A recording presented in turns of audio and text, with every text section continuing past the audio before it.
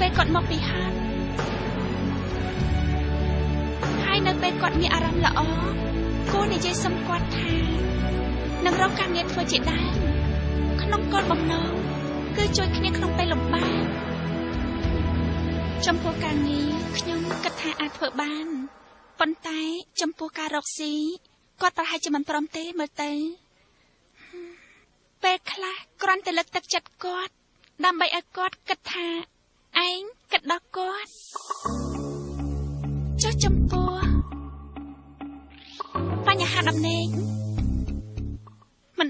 មិនដូចជាពេលមុនទេ ជាញឹកញាប់ខ្ញុំមិនអាចទ្រាំនឹងក្លិនស្រារបស់គាត់បានឡើយនេះក៏ជាបញ្ហាមួយទៀតដែរសុខឯងត្រូវតែស្វែងយល់បន្ថែមទៀតធ្វើយ៉ាងម៉េចយល់ចិត្តគ្នានិងរស់នៅជាមួយគ្នាដូចពីដើមអញ្ចឹងបើឯងបណ្ដាច់បណ្ដោយគាត់គាត់អាចទៅខាងក្រៅវាប្រឈមមុខនឹងជំងឺឆ្លងផ្សេងផ្សេងដូចជាជំងឺអេដជាដើមណា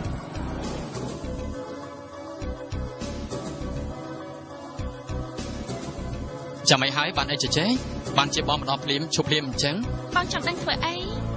បើជារឿងស្រីស្រីបងមិនចង់ដឹងទេតែបើជារឿងរបស់អូនណាមិនត្រូវលាក់លំបងទេណែសម្រាប់អូនពេញចិត្តទេបងប្រកាសយល់ចិត្តប្រពន្ធមែនល្ងាចហើយខ្ញុំលាអ្នកទាំងពីរសិនហើយណាណែសុខាចាំញ៉ាំទាំងអស់គ្នាសិនខ្ញុំអរគុណហើយខ្ញុំដឹងថាឯងកំពុងចង់មកជឿលាហើយណា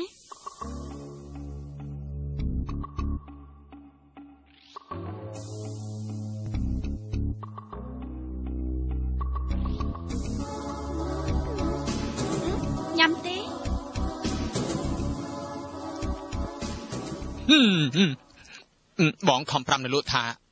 យកអាណាជូជូដល់ពេលខ្លួនឯងញ៉ាំបងស្មានថាផ្អែម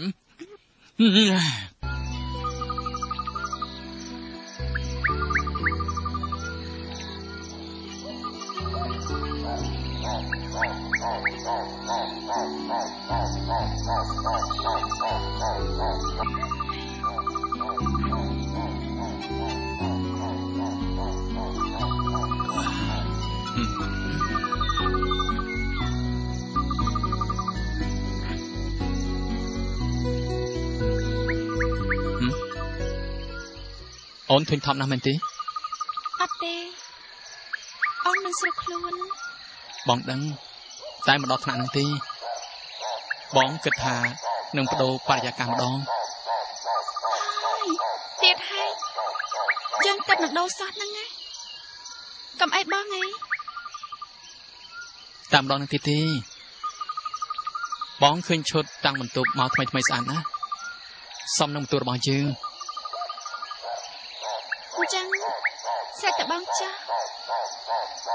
ពេលណាជាងផ្លាស់ប្ដូរការកັບតែងក្នុងបន្ទប់ម្ដងម្ដងណាវាធ្វើឲ្យជីវិតយើងស្រស់ថ្លាប្លែកមួយយ៉ាងដែរអូនសូមឲ្យជីវិតគ្រួសារយើងបានសុខរហូតមិនអូននិយាយអញ្ចឹងអូនឃើញគ្រួសារសុខខាអូនបារម្ភណាស់អូនមើលមកបងមើលដូចទេ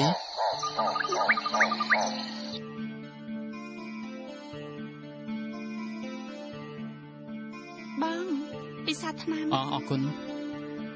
បានអូនយកចិត្តទុកដាក់បែបនេះ បងធូរច្រើនហើយជំងឺក្រពះត្រូវព្យាបាលជូនណាហើយត្រូវតំច្រើនយ៉ាងទៀតផង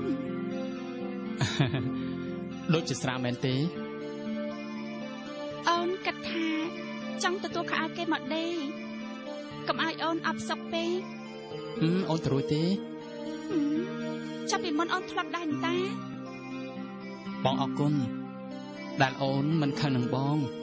ហើយមានចិត្តចង់ជួយគ្រួសារទៀតនេះបងកំពុងតែវាយប្រព័ន្ធទ្រុំដើម្បីធ្វើការពេលជួបបន្ថែមទៀតអូនសុំបងម្យ៉ាងបានទេអឺអឺបងមិនត្រូវហូបស្រាទេណាបងកំពុងតែឈឺក្រពះបងដឹងមួយរយៈនេះបងគ្មានអារម្មណ៍ផឹកទេ បងចំណាយពេលច្រើនណាស់ទៅលើស្រាថែមទាំងនាំទុកដល់ខ្លួនទៀតបងខំធ្វើការមិនឲ្យអូនអស់សង្ឃឹមទេអូនណាក៏រងចាំជួយបងរហូតដែរតោះទៅណាហឹមទៅគេងនឹងណាអូនញ៉ាំថ្នាំចារឿងដែលអស់លោកលោកស្រីទើបនឹងបានទស្សនាអំបញ្ញមិញនេះគ្រាន់តែជាការលាតត្រដាង នៅចំណុចខ្លះខ្លះៗជួយជាគំនិតក្នុងការកសាងសុភមង្គលគ្រួសារហើយអឺយើងខ្ញុំក៏ចង់ទាញអារម្មណ៍របស់លោកលោកស្រីឲ្យគេចផុតពីបញ្ហាដូចជាការមានផ្ទៃពោះមិនស្របតាមប្រាថ្នាការមានជំងឺផ្សេងផ្សេងៗដូចជាជំងឺកាមរោគជំងឺអេដស៍ការមានអំពើហិង្សាក្នុងគ្រួសារដែលបង្កឲ្យមានភាពក្រីក្រការ ស្លាប់ការបែកបាក់គ្នា ការមានទោសជាដើមឡាក់ហើយតទៅនេះទៀតយើងខ្ញុំក៏សូមបង្ហាញជូននៅចំណុចខ្លះៗដើម្បីជាគំនិតក្នុងការកសាងសុភមង្គលគ្រួសាររបស់លោកលោកស្រី គឺថាជីវិតជាគូត្រូវចេះស្វែងយល់ពីអារម្មណ៍គ្នាទៅវិញទៅមក ដើម្បីឈានទៅដល់ការយល់ចិត្តគ្នា ត្រូវយល់ពីតម្រូវការរបស់គ្នា ចេះសម្របសម្រួលគ្នាដើម្បីអឺចុះសម្រុងនឹងគ្នា ហើយបើសិនជាមានការសម្រេចចិត្តនឹងធ្វើអ្វីមួយគឺយើងត្រូវពិគ្រោះយោបល់គ្នានឹងធ្វើការសម្រេចចិត្តរួមគ្នា យើងត្រូវចេះអត់ឱនឲ្យគ្នានិងស្មោះត្រង់នឹងគ្នាមិនគួរចាត់ទុកថាប្តីឬប្រពន្ធគឺជាកម្មសិទ្ធិផ្ទាល់ខ្លួនគួរយល់អំពីទួនាទីរបស់ប្តីឬរបស់ប្រពន្ធ ដើម្បីទទួលខុសត្រូវរួមគ្នាត្រូវចេះជួយគ្នាក្នុងការលើកកម្ពស់ជីវភាពគ្រួសារអឺមានការយល់ដឹងអំពីសុខភាពបន្តពូជនិងជីវភាពផ្លូវភេទត្រូវយល់ឲ្យច្បាស់អំពីអនាម័យខ្លួនប្រាណនិងមានសុខភាពល្អគួរបង្កើតឲ្យមានបរិយាកាសរីករាយនិងស្និទ្ធស្នាលនៅក្នុងគ្រួសារគួរផ្លាស់ប្ដូរបរិយាកាសអឺ ដូចជាការរៀបចំបន្ទប់គេងឲ្យមានរបៀបរៀបរយនិងផាសុកភាព ដើម្បីតាក់ទាញអារម្មណ៍យើងខ្ញុំសូមគោរពជូនពរលោកលោកស្រី បានប្រកបទៅដោយសេចក្តីសុខនិងសុភមង្គល ក្នុងគ្រប់ក្រុមគ្រួសារផលិតដោយអង្គការកម្ពុជាអប់រំនិងថែទាំជំងឺអេដសហៅកាត់ថា CHECK ឧបត្ថម្ភដោយ EED, KFORD, CCODP និង QSA